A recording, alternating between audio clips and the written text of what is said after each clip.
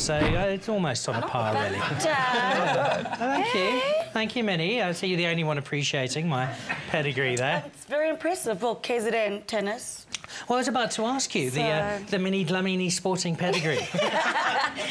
No, played tennis as well. So obviously meeting Kevin was, was pretty cool. I was like, I want to go watch him at Wimbledon. so I'm super, super excited and all the best for the upcoming Thank Open.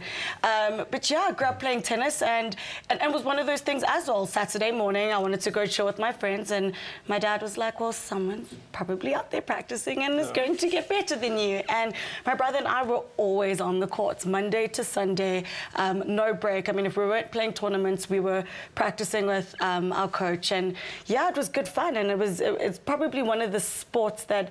Um, sort of shaped the type of person that I am in the sense that because it's an individual sport, um, yes, fine, I do put a lot of pressure on myself, but I'm also the type of person where I can take responsibility for my actions. And I feel um, it- it's a trait that, that an individual sport teaches you so beautifully is to, to really, you know, take ownership of your life and, and, and be able to be, you know, responsible and, and accountable for your actions, which I think is very cool.